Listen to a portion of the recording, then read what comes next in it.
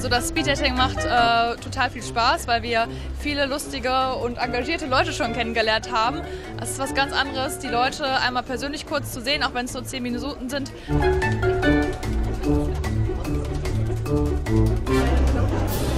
Ja, die Stadt Gelsenkirchen ist meine Heimat. Ich bin hier geboren worden und dementsprechend habe ich halt ein großes persönliches Interesse daran, hier zu bleiben. Ich erwarte nette Kollegen und ähm, auch einen sicheren Job. Und ich finde, dass die Stadt Gelsenkirchen ein guter Arbeitgeber ist. Ich habe bisher von Freunden sehr viel gehört.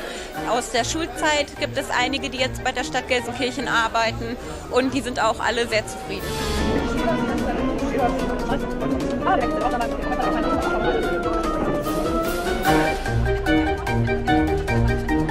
Dass sie äh, mir unterschiedliche Bereiche bilde, äh, vorgibt, also abwechslungsreiche äh, Bereiche, dass ich mal überall sozusagen hineinschnuppern kann und gucken kann, welcher Bereich der Stadt mir wirklich am besten liegt.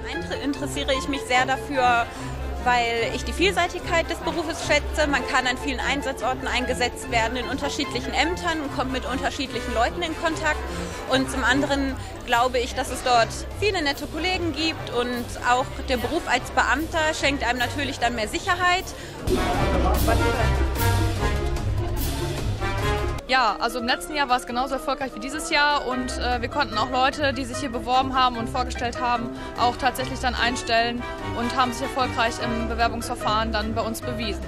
Hallo.